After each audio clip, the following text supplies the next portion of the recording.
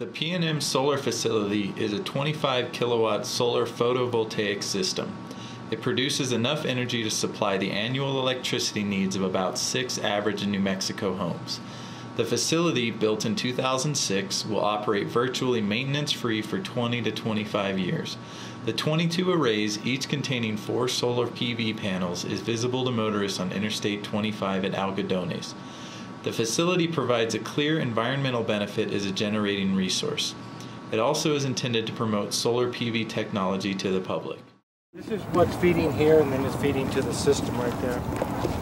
If you want to walk and look at it, that's, it's been cut in sections to get it over here, but that's a wind turbine blade. About 120 feet long.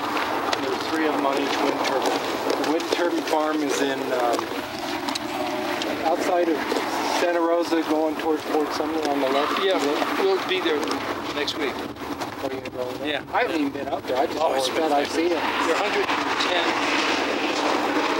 windmills, two, there are 118 windmills, 210 feet tall.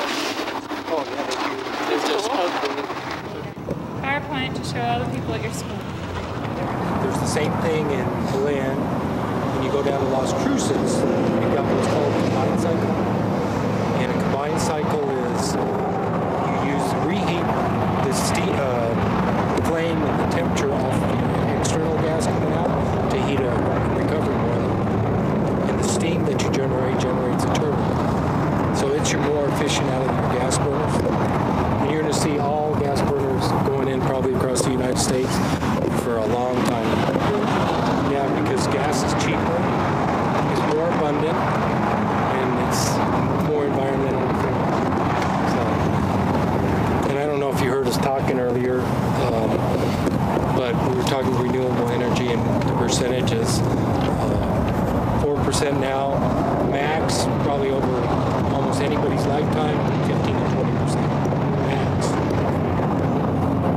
Yeah, it's so expensive. The land it takes to use, it's just not going to be something that people will go, oh, it's the gift from God. No, it's not. You're going to still have coal fired until they get nuclears in place to take. You're going to have.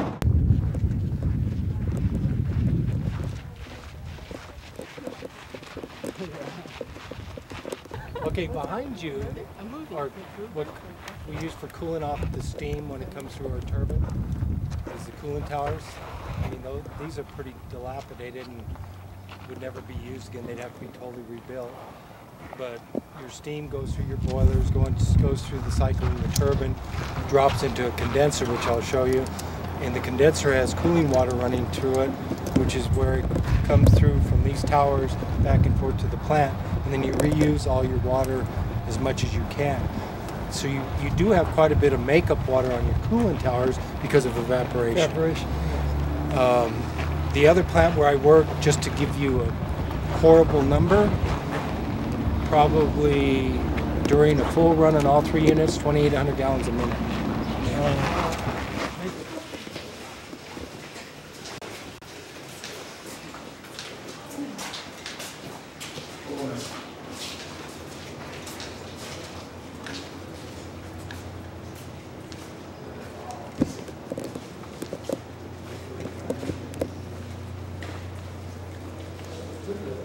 Just everything's dry, as you can see. The- These here are uh, opened up so they can dry out.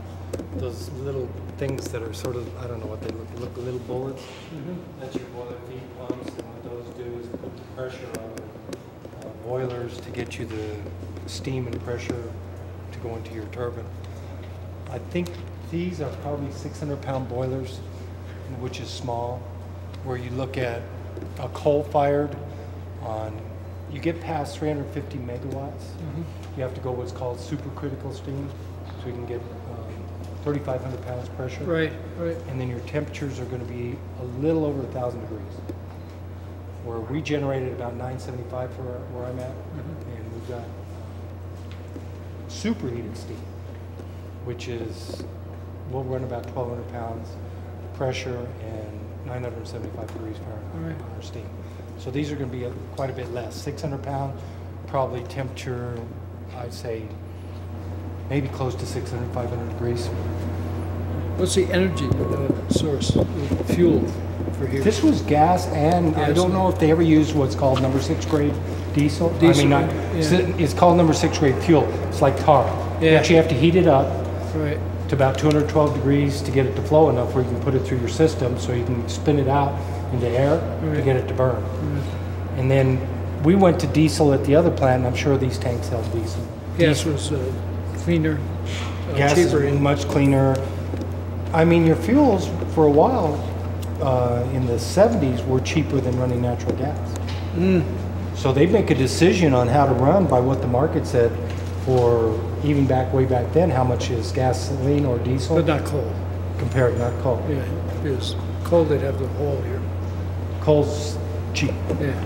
Okay, what I was telling you about the cooling towers is you got these, which is your condensers, you got a bunch of tubes in them. Your steam's gonna come down through your turbine and go around the tubes in here. Usually you put your colder water in at the bottom, it draws it out because you wanna maintain a vacuum on your turbine, sucks the steam in, and those pumps over there is that pumps it back to the cooling tower. Those two on each side. Right, right. Looking at three different units. I don't know how they're, yeah, the one, two, and three, I guess as we go down. You can get into a lot of units that are um, similar in design was by company. And there was different boiler manufacturers. Had, Yeah. um, Yep, B and W, I'm trying to think of the other one.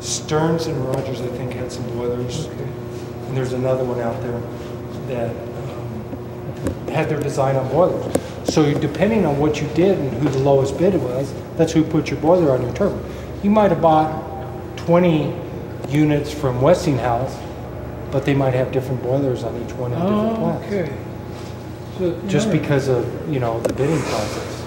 So turbines were companies like Westinghouse. Westinghouse, General GE. Electric were the main ones. Okay. The only other one that I remember back in those days was Allis-Chalmers, which is Right, Siemens Right, power. Siemens, right. Uh, to give you an idea of what, how the industry's changed, you've got Westinghouse, which is Siemens. Siemens has bought Yeah, a bunch out. They're probably the biggest power company in the uh, world right now. And then you got General Electric, which you, you know is really big too. Mm-hmm. Those are your two main sources. You've got some of the gas turbines. You've got some offshoots, Hitachi. Um, I think Mitsubishi makes mm-hmm. gas turbines, but your main focus is still these turbines. Mm-hmm. I mean, I don't know if you've gotten delved into how gas and diesel and all that is, is how it's used now, it's changing as far as use, is because China and India, which are the most populous countries in the world, are becoming into, um, what is the term? Um, Well, they're getting into technology. And so High-tech countries. high-tech countries more, and so you're become, you're developing middle classes now, where there was a separation huge there. Now you've got a middle class, and those middle classes are buying cars. You're constructing equipment, so you're using a lot of diesel in all these countries now. huge population. Right, huge population. So the more they get in the middle class, the more gasoline and diesel they're going to use. I mean, you've been, you don't hear it much, but I see it a little bit. Is Obama and uh, this new bill that they're coming on energy for clean air? Well, we need to be focusing on not just the United States, but the companies that countries like China that are polluting ten times more than we are because they aren't China protecting themselves. and, and India combined open a new coal-fired power plant every week right. for a month. And we aren't going to cure it. It takes nine to 12 years to permit a coal-fired power plant here. Right. Nuclear. Right. And so it's something to think about as you teach and embed that we need to get clean air across the world, not just here. These things here, in fact, they must have been running number six grade fuel oil here. Heat the oil, that's what I was talking about, 212 degrees to get it to flow enough to be able to put it in the boiler, uh, to be able to put it, what's called atomizing air on it, uh, to get it to swirl into droplets so it'll burn. I don't know if there's It's diesel. Smells good. Okay. We're inside the plant. This is where you'll have your tubes and steam comes from here. You have gas that came in on one header, and these things, if you were running oil, fuel, you stick these in, and they'd have air attached to them so they could spray it like I told you about.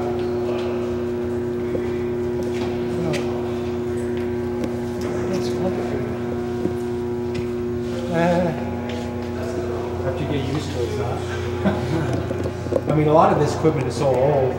Like you see one and two written on there, that's regulating your oil going into your system. So each of these round things is with Those are the burners. burners or is each of them and they're stacked. Right. And the flue is up there somewhere. Yeah, the flue is up there. I don't know gas exactly the configuration on that, but these ducts that you see coming in here Yeah. will be air. So you got air coming in, so that's makeup air coming from a, uh, a forced draft fan. I think these have what's called induced fan, draft fans. Okay. What that means is that when you're pushing it in, you're sucking out at the same time. So you could actually come over here while this thing's burning and open the door on it and look at the flame. At the other plant that I used to work at that was induced draft, we used to take our magazines and stuff, throw them in the boiler while they were burning. Um, But you could actually, it's, you can look in, open doors. Where I'm at, forced draft, straight up, pushes the air through, pushes it out to the stack.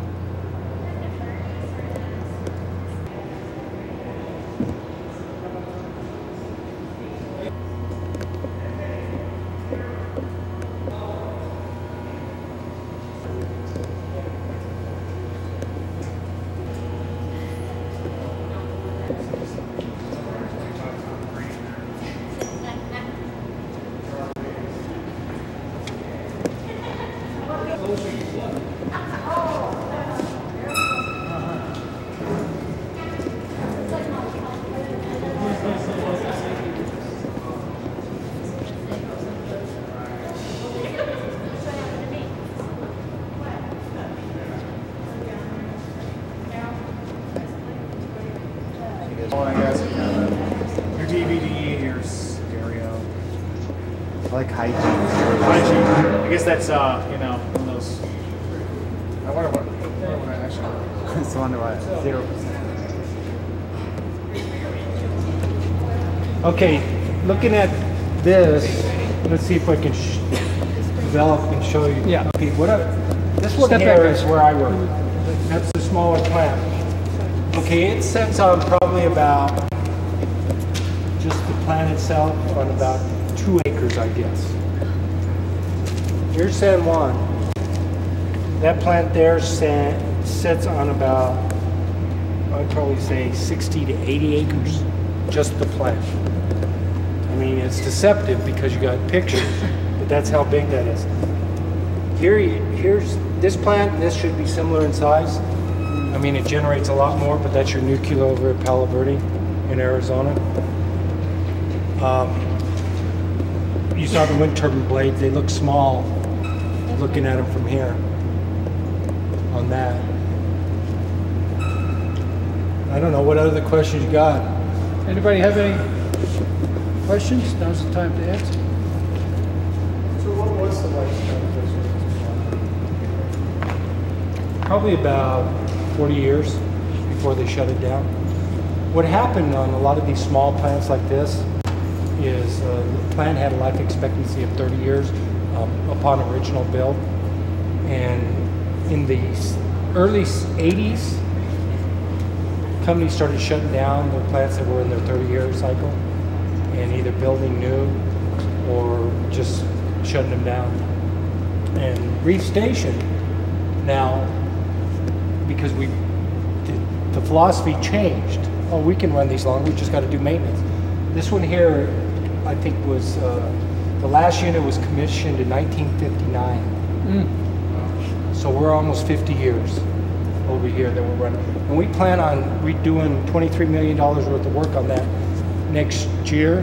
We've already started spending some of it and expect it to last another 10 to 15 years before we have to go to it again. Uh, as the city grows, where do you think, uh, what do you think is going to happen as far as what comes next? What comes next is you're gonna, I think you're gonna see, um, not Reeves Station, it'll always be a peaking plant. You're gonna see simple cycle gas turbines with uh, boilers, heat recovery boilers, put in. Like at Person Station, I can see them turning that one into a combined cycle, possibly the one in Berlin into a combined cycle. Like I said, we've already built the one in Las Cruces that's combined cycle. Plus, you've got the one in Deming, which is owned by Tucson, uh, Phelps Dodge, and PNM, which is a, a big combined cycle. I think it generates about 600 megawatts. So as it grows, you're going to see that happen, and then eventually, depending on things go, you're going to see nuclear come in into this country being built again. I mean, I don't know who remembers, probably several of you, but it was Three Mile Island basically shut down uh, the nuclear industry back then in the fear factor. I mean, if, if we wouldn't have the fear factor, we wouldn't be on power. We'd probably be much closer to have cleaner air than you ever were because of that. So, okay, behind us over here is our turbines. Okay, the steam that these generate here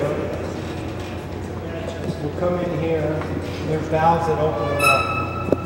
I don't know if there's a picture of, I don't think she has a picture. Yeah, she does. We'll look at it. Anyway, the steam comes through, through stages. Your first stage blades are usually about one inch because that's your highest pressure and highest temperature. As you lose your pressure and lose your temperature, you get all the way to the back, the blades grow incrementally for surface area, and then, then the steam goes down and goes into condenser. The way they turn is what's called reaction blading. They're all set at a pitch, so when the steam hit, it pushes and then it reacts off a stationary, and then it hits another one that's turning until it's all gone at the end, and then you bring it in. Then your water is taken through that, and you recycle it in your boiler again. So you use, you have makeup, but you recycle it continuously. I mean, this water that's used here is expen- what we call expensive water because you have to keep it really clean. So you want to keep as much oxygen out of it, uh, silica, anything that's in it. So it's actually filtered somewhere in here. Well, this had, we passed it, Okay. but it had a place down there that would have filtered, filtered it. Um, at- Wells or? yeah, these are on wells, but your water that comes, and you have storage tanks to store your clean water. Okay. Over at, uh, we use ion systems over at Reeves Oh. for uh, cleaning up our water over there. Yeah. So, okay, if you want to look, it looks like they've got picture of the. I could probably tell you every part on this one because this is the 44 megawatt unit at Reeves Station. So you use a control piston here. You've got a valve rack here. You've got an inlet set of valves here. What happens when you initially start is you bring your inlet steam in here and these valves open all the way up. As soon as you get to a pre-designated, which is about 3,450 RPM, your governor takes over. And that's all on hydraulics. When the governor takes over, it closes these valves back and keeps it at that speed. And so you bring it up uh, with an electric motor on the front, it's sitting right here. You open up a little bit and you get to 3,600 RPM. At 3,600 RPM, you're at that 60 hertz, is where all your clocks and everything are. If you aren't there, then your clocks don't work right, everything's screwed. And we did that to Las Vegas, New Mexico one. On our gas, on our gas turbine over there, we had a situation where we had an emergency, and you went into the grid, and we were like at, uh, I think we were at 57, and so all the clocks slowed down by 10 or 15 minutes over time. All of them, because there's no choice, but that's what'll happen if you don't ever see it. I think the European countries are at 50, so your, your speed's probably around 3,200 RPM, if I remember correctly. But your steam comes through, and there, the small blades I was talking about are right here. This part of your turbine is a dummy part with seals, and that's just to keep it in the center. It balances the steam flow. So this stays here and doesn't push one way or the other. It uses steam to help with that, plus a bearing on the front. So it comes through and you get through these stages, which is called, these, right about this far is your high pressure. And then it breaks off from here and you call that intermediate pressure. You're getting into, um, probably about 300 pounds, um, 300 degrees, somewhere in there. And these have what's called crossover. And it goes through, the steam continues to go through here with the help of a vacuum. It starts at your smaller blades here and continues to turn, turn it until it hits the outside here, goes back down and turns into water. Over on the other end is your generator. The generators use a magnetic field, which this, we don't use these anymore. Exciters, which would create a magnetic field through voltage on here. And the, the more magnetism you get to push out the power, the more this would have to push on this end to generate. So these little boxes on here and these tubes you see inside here, we use hydrogen. Does anybody know how dangerous hydrogen is? That would cools all our generators. Oh, So, but it's the most efficient, the best gas that we can use for that. No other gas has been found to this day. Hmm? Helium doesn't work. Has to be hydrogen. And so we use hydrogen gas inside this generator to do it. These keep them cool. Um, you know, then we have leak detection systems, stuff like that. One year when I was working at Reeves, we were, the- we use, we don't use the clean water in these, we use the bad water. So those got scaled up, and we were rodding them out online, popped a tube. Everybody ran pretty far until it drained out. We tripped the unit. I don't know, here, this thing here might give you more, I haven't even, like I said, I haven't done it, but this talks about the solar grid out there. I'd have to read it.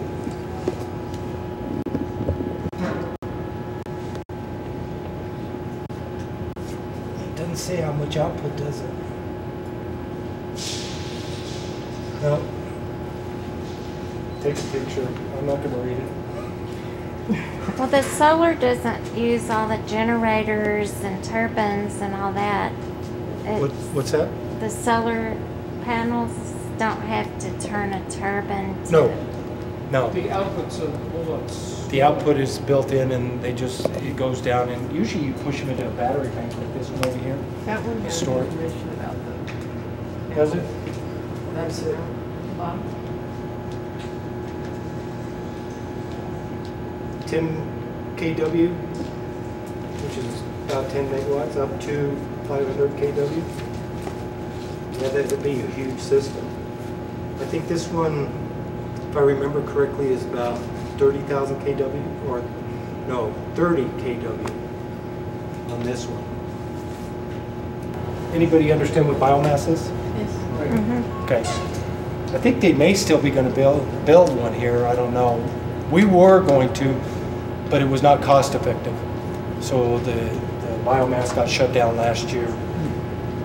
Um, And then this just gives a grid of how the, how you get into transmission, bump it down with a transformer, uh, to the power needed for, uh, for your 110 or 240 volt, bumps it into distribution lines and then sent to the customer. I don't know, you've been around the, you go to, down as far as Portales in that area? No, no. We've got uh, the big transmission that goes into Texas that we put in there on the single standing poles. They have one base on them that's about, well, it's pretty good size, but it- the structure just sits on that. And the guy wires tie it off, so that'll, that's a 300, 345 kV line Right, going right. into Texas from. And there's plans for a new line coming They're starting also. Them, yeah, because we need more transmission. Yeah. Whether you're using solar or nuclear the transmission lines, are, uh, is there a difference? No. No. Oh. Electricity is electricity. Electricity, electricity. I mean, I don't know if your books show it in it, but you've got AC and DC. The biggest difference is DC, if you look at it on a chart, go like this, straight. AC alternates.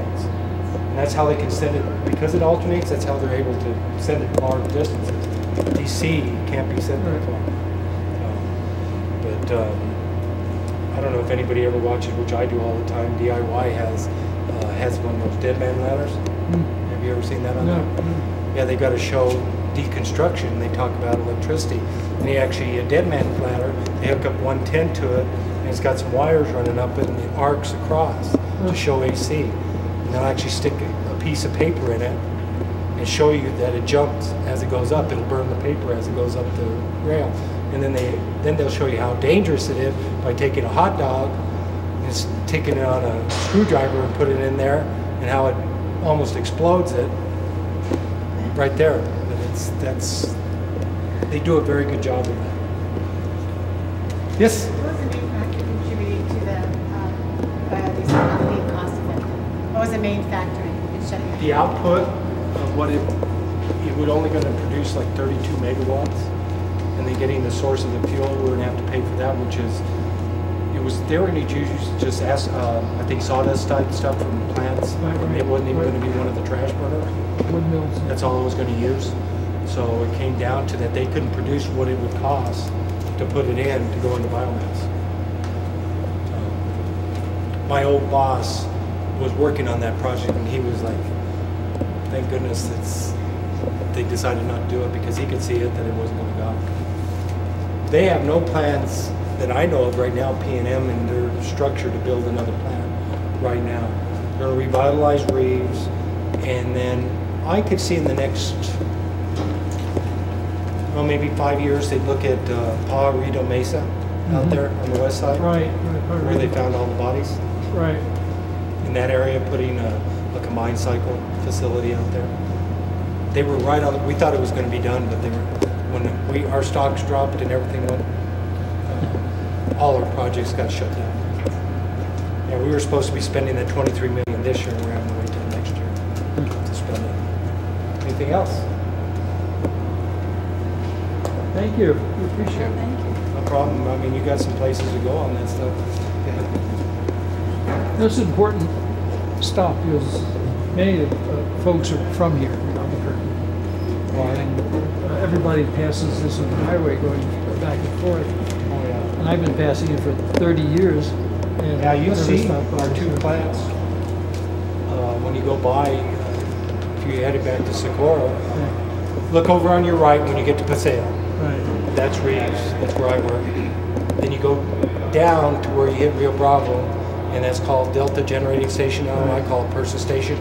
What you'll see on the big building is the old plant.